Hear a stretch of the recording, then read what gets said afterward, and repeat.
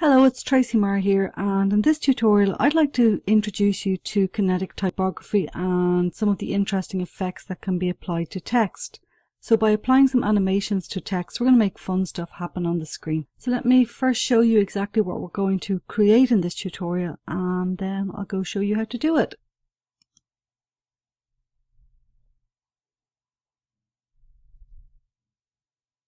So you can see there are a couple of things happening. The text is growing, it's turning and spinning on its side and we've got some stuff bouncing in and around it. Let's now recreate it. I'm going to add a new slide and the first thing I'm going to do is pop in a background by clicking design, format background and let's go with a gradient fill. So I'm going to choose the orange at the bottom. So we have our background now and the next thing we need to do is add in our text and let's select text box here and pop in some text. So we're going to write welcome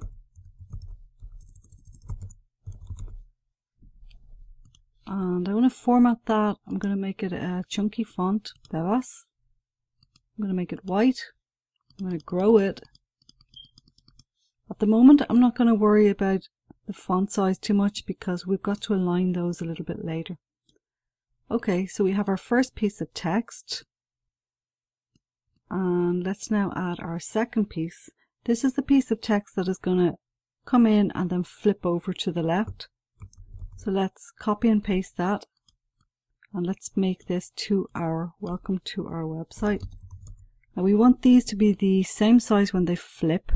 So I'm going to increase the size of the font fairly roughly for the moment because we're going to refine this a little bit later. We also want want to add welcome to our website. Let's copy and paste again. Our website is going to be a lot bigger. This is the text that's going to pop down into the middle. So let's extend that out. Let's grow that considerably. Again, this will be refined a little bit later. And let's just align these over each other for the moment. And the final thing we need is our URL. So copy and paste again. Let's shrink this down.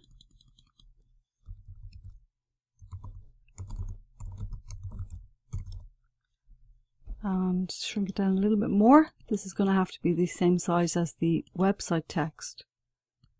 Okay, so you can see it's a little bit bigger. So I'm going to just manually make this smaller. So 38, so 39 possibly. We'll make it just the right size. Okay. So you can see we've got a lot of text here and it's difficult to see because it's all jumbled up. So you can click on Home, the Select option here and Selection Pane. When you select that, it will open up options to the right here with this small little eye icon and you can switch off each piece of text or each object on the canvas by clicking the eye icon. So let's first work with the welcome text. It's now time to add animations, so let's close this format background panel here so we have more space to work with. We're going to add a total of four animations to this piece of text, so let's select on it and click and choose animations and let's open the animation pane so we can keep track of what we're doing. So let's first add a simple fly-in animation and we're going to make a fly-in from the top. And we're going to leave the duration at 0.50 but we're going to add a little extra bounce to the text. So let's add a 0.40 bounce preview and you can see the text drops in and bounces after it drops in and bounces, we want to we want to turn it on a quarter spin over to the left.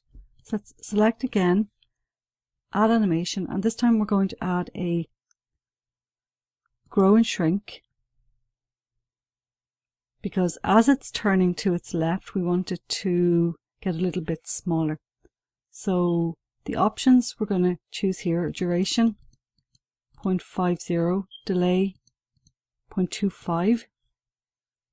That just means there's a slight delay after it falls in and before it starts to grow and shrink, so there's a little bit of time to read what's going on. And let's also add a 0.40 bounce to this. So let's make this start after the previous.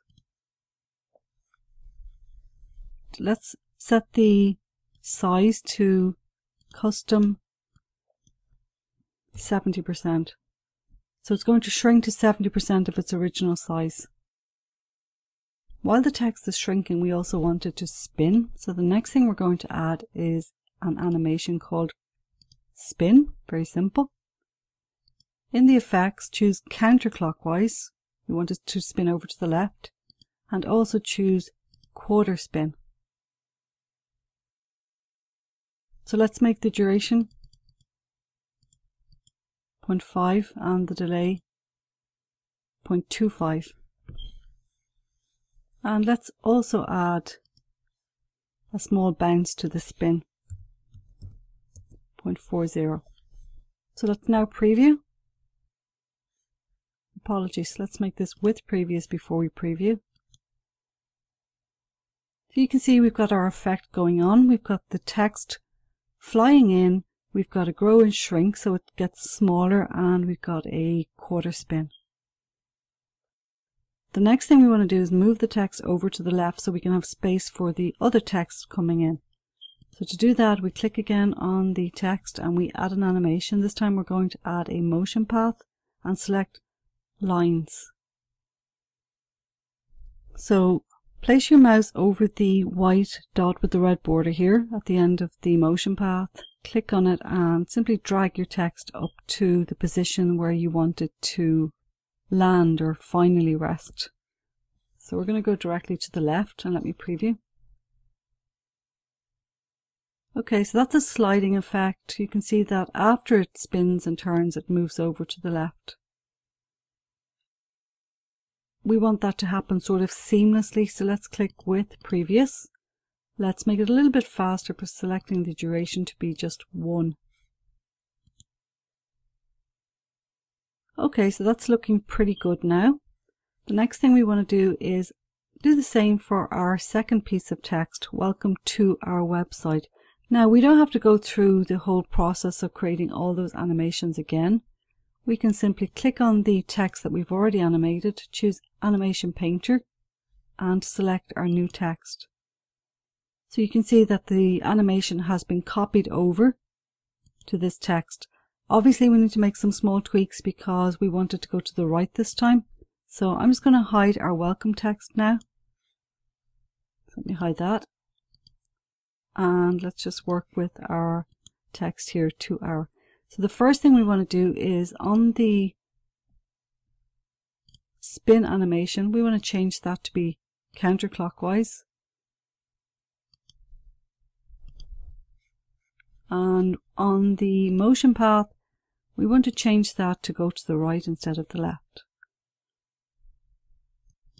Okay, so let's reveal our text again and let's see what happens.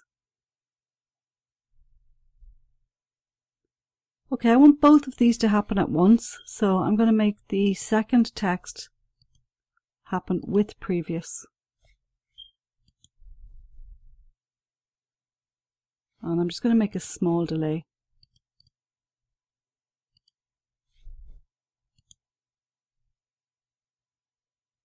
That's working pretty much as it should. So let's hide those elements now and let's reveal the text website. And for this we need a simple animation. It's just a fly in and we're going to make a fly in from the top. Again, we're going to add a small bounce, 0.40 and let's also reveal the logo text. And this is going to fly in from the bottom add animation. Fly in from bottom and also with the small bounce 0.40 okay. Let's show our text again. Let's make the website text happen after previous and also with previous and a slight delay of 0.25.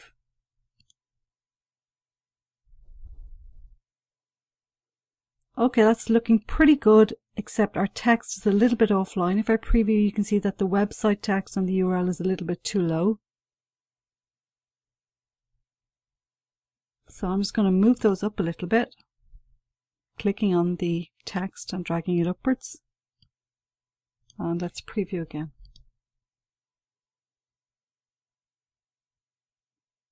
Okay, that's looking good.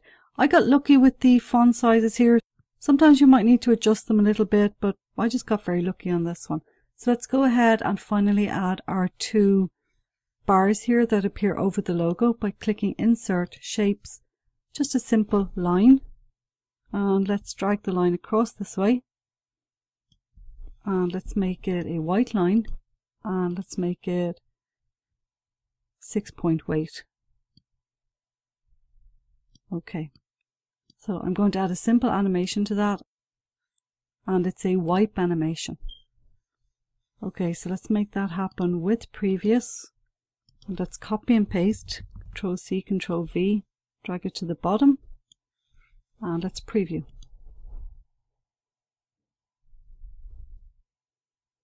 Okay, you can see this bottom line is a little bit too close. Let me click on that and drag it down and preview again. And that's looking great. So you can see now that by adding a variety and a combination of animations to text, you can make some pretty interesting things happen on screen. All you've got to do is experiment with all the different animations you've got and you can get some pretty unique kinetic typography effects. Thanks for watching.